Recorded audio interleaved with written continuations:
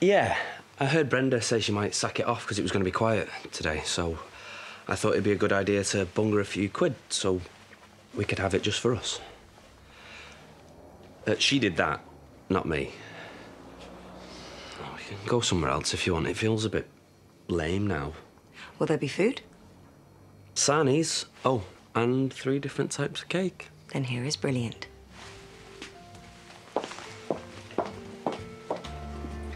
Well, I had a lot of making up to do, didn't I? Because I didn't know that you were missing, and I didn't look for you.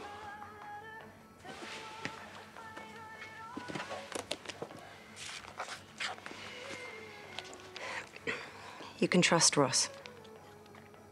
He didn't search because he thinks you left him and it broke his heart. He has no idea how hot he still is. Don't tell him or he'll be insufferable. Sorry about your heart. Sorry, not sorry. You fancy the pants off me? Wonder what it would do for your reputation if people found out you planned this. Mm-hmm. How thoughtful and kind you really are. I deny it, mate. Is that all this is? What? You being kind. Because if it is, I totally get it. I was a mess before, and I'm even more of a wreck now, so I really wouldn't blame you if you.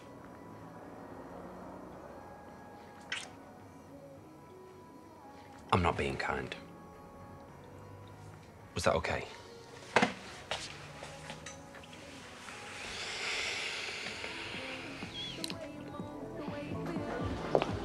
you want to go to the disco after all? No. I want you to take me back to yours. It's a bit fast, isn't it? I haven't had a life in months. Fast is good. Only if you're sure. You're the only thing I'm sure about. Great, well, I'll go tell Charity that she'll have to pick up Moses. Uh, take my key, and I'll see you in a second. Okay. Let me know.